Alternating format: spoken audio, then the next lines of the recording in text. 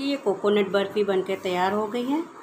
इसे हमने बगैर कंडेंस मिल्क के बनाया है, बगैर घी के बनाए इसमें हमने बिल्कुल भी घी यूज़ नहीं किया। देखिए, इसमें हमने टू लेयर में इसे तैयार किया है। तो इसे बहुत आसानी से बन गई। पाँच मिनट लगा मुश्किल से हमें इसे बनाने में। तो इससे पहले ही मैंने कोकोनट की कई रेसिपी शेयर की अपने चैनल पे। तो उसका लिंक हम डिस्क्रिप्शन बॉक्स में दे देंगे। आप चाहें तो उसे भी देख सकती हैं। तो अगर आपको मेरी रेसिपी पसंद आती है तो प्लीज़ मेरे इसे सेट हो गई है। तो इसमें अब हम ये पिस्ता हमने बारीक कट किए इनको डाल देंगे चारों तरफ़ से अच्छे से। आप कोई सा भी ड्राई फ्रूट्स डाल सकती हैं। हमने बहुत बारीक कट देखिए तो हम इसे निकाल के दिखा रहे हैं।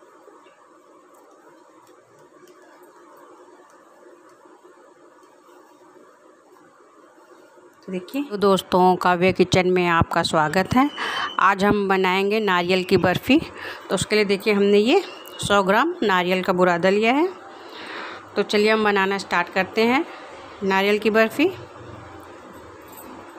कढ़ाई हमने चढ़ा दी है, उसमें हम ये एक कप दूध डालेंगे।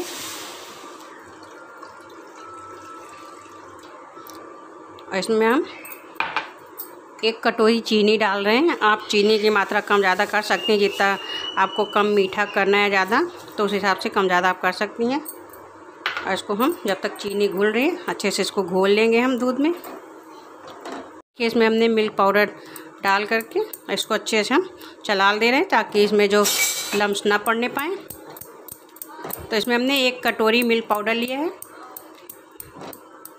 मिल्क पाउडर अच्छे से घुल चुका है। तो इसमें हमने जो नारियल का बुरादा लिया, इसे हम डाल के अच्छे से मिक्स करेंगे। तो इसको हम अच्छे से पहले मिक्स कर देंगे बुरादा नारियल का बुरादा अच्छे से मिक्स हो चुका है। तो इसमें अब हम ये इलायची पाउडर डाल दे रहे हैं खुशबू के लिए। इससे इसका स्वाद बहुत अच्छा हो जाता है। इसको हम अच्छे से मिक्स करेंगे। और देखिए, नारी, जो ये नारियल का रहा है, इसने कढ़ाई छोड़ना भी स्टार्ट कर दिया है। तो इसमें थोड़ा सा और भूनेंगे दो से तीन मिनट के लिए। ये इसने इकट्ठा होने लगा है और इसने कढ़ाई भी छोड़ दिया है। तो हम गैस की फ्लेम ऑफ़ करेंगे इसको हम अब सेट करेंगे।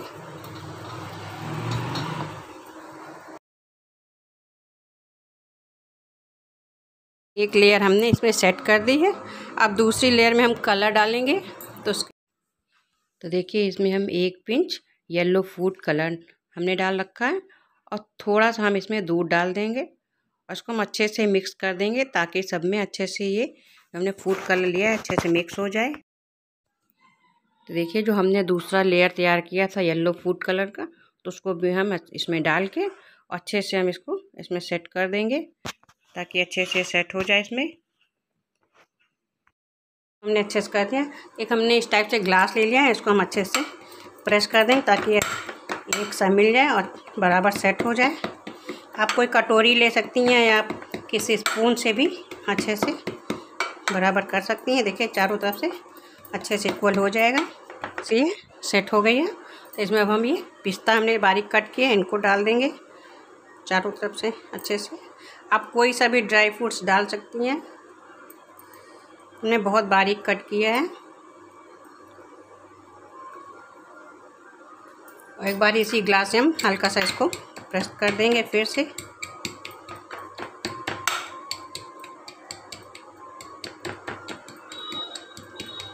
ये देखिए, इसको हम अब रख देंगे ठंडा करने के लिए। ठंडा करने के बाद हम इसके पीस कट करेंगे। ये अच्छे से ठंडी हो गई है तो इसको हम पीस में कट कर लेंगे। ये देखिए, इसको हमने बगैर घी के बनाया, बगैर कंडेंस मिल्क के देखिए बनाया है ये।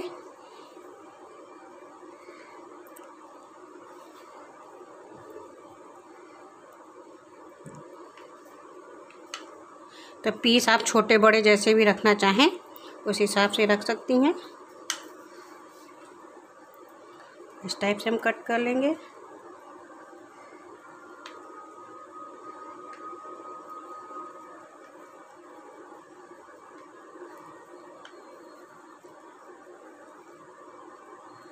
देखिए, हम इसे निकाल के दिखा रहे हैं।